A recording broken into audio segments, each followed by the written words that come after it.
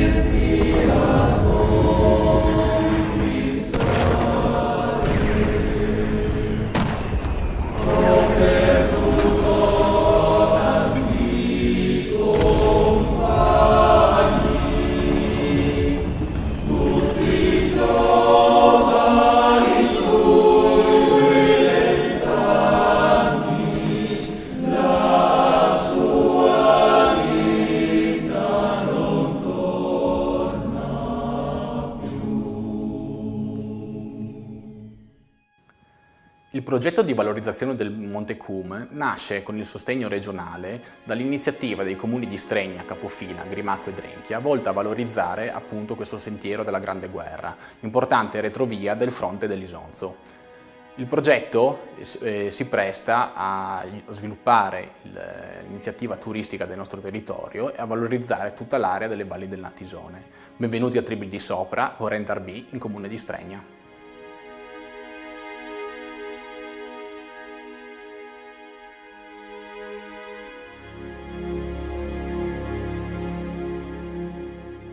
Il comune di Stregna si trova fra quelle valli del Natisone e dello Iudrio che solcano gli estremi lembi del Friuli orientale e custodiscono il confine tra Italia e Slovenia.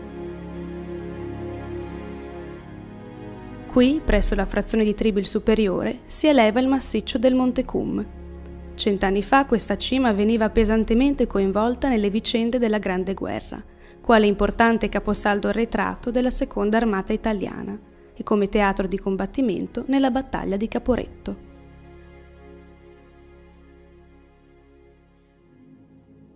Alla vigilia della Grande Guerra, il Monte Cume e il territorio circostante erano aree che si affacciavano alla frontiera corrente fra il Regno d'Italia e l'impero austro-ungarico. Eh, con il 24 maggio 1915 l'apertura delle ostilità sul fronte italiano, le forze della seconda armata italiana e in particolare la brigata Bergamo e il battaglione Alpini Aosta furono le prime a marciare oltre la valle dello Iudrio, scendendo proprio dai contrafforti del Monte Cum e della cresta che scende verso Castelmonte. Furono operazioni sostanzialmente incruente che portarono le forze italiane inquadrate nella seconda armata fino all'Isonzo in poco più di 24 ore.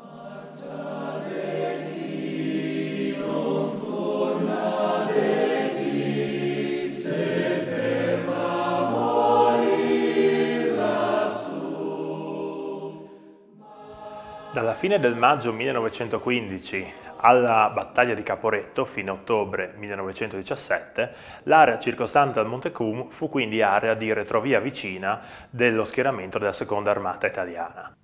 Fu in questo periodo che l'esercito italiano costruì una notevole quantità di strade, mulattiere, trinceramenti, postazioni per artiglierie proprio nel circondario del Monte Cum, il quale massiccio rappresentava il pilastro angolare del raddoppio della linea d'armata, ovvero la quarta e ultima linea difensiva che le forze italiane avevano approntato nel settore delle Prealpi Giulia.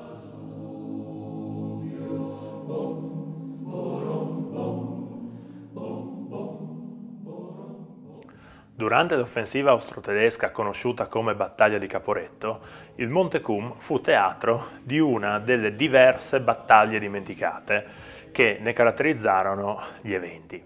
In particolare, fra il 25 e il 26 ottobre 1917, due reggimenti tedeschi della quinta divisione attaccarono le forze della brigata Elba, che erano arroccate a difesa dei suoi versanti.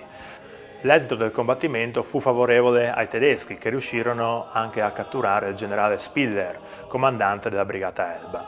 Tuttavia la resistenza italiana fu importante per permettere ai resti della seconda armata di raggiungere la linea difensiva in corso di sistemazione nella zona del Cividale e ancora più indietro lungo il bacino del Torre.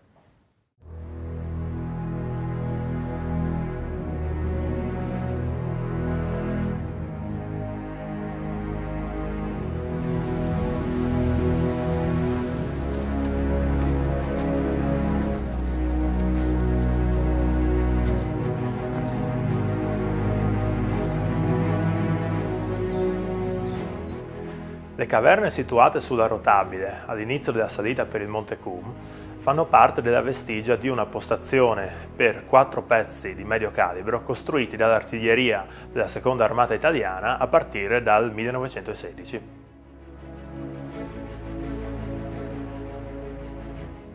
In concreto, ognuna di queste caverne doveva ospitare una bocca da fuoco rivolta verso oriente, ad oggi gli sbocchi sul versante orientale della dorsale sono franati, tuttavia si riconosce molto bene la funzione di cannoniera che ognuna di queste opere aveva.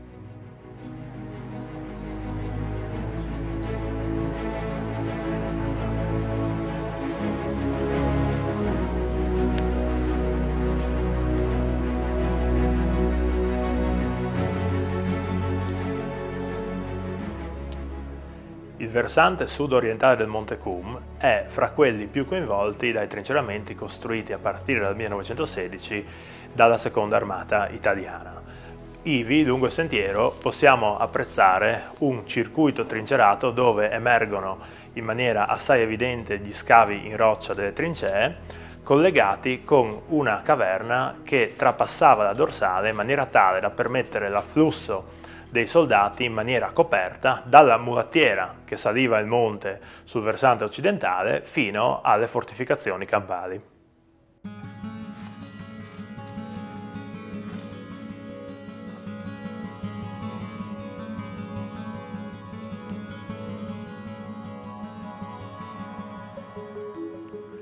Le numerose batterie d'artiglieria che l'esercito italiano aveva postato sul Monte Cum trovavano il proprio osservatorio principale sulla cima del medesimo monte, dove ancora oggi riconosciamo diverse vestigia.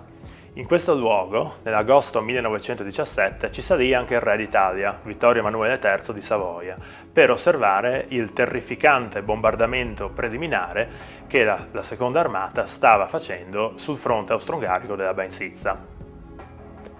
Nel cannoneggiamento di preparazione dell'undicesima battaglia di Disonzo, la battaglia della Bensizza per l'appunto, parteciparono anche le artiglierie schierate sul Monte Cum, fra le quali si trovava anche un pezzo di grossissimo calibro inglese che venne ceduto all'esercito italiano dalle forze di Sua Maestà.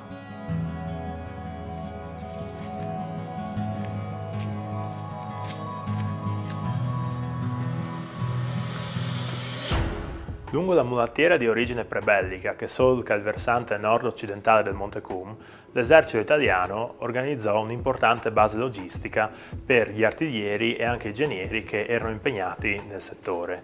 In particolare si tratta di casermaggi e depositi capaci di contenere e di dare i servizi di magazzini necessari alla sopravvivenza di centinaia di soldati.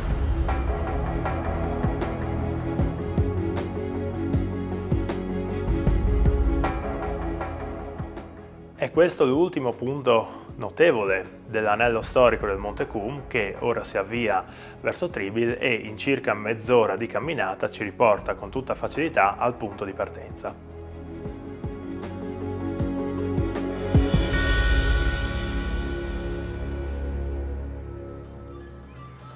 Sono Antonio De Toni e sono il presidente della Prolocone di Schedoline Valli del Natisone che dal 2004 cerca di promuovere il territorio delle valli del Natisone nella sua complessità, nei suoi sette comuni e in qualche modo fa delle proposte di passeggiate sulle valli del Natisone riguardanti temi sicuramente importanti come la prima guerra mondiale, le chiesette votive, il confine della guerra fredda e altre.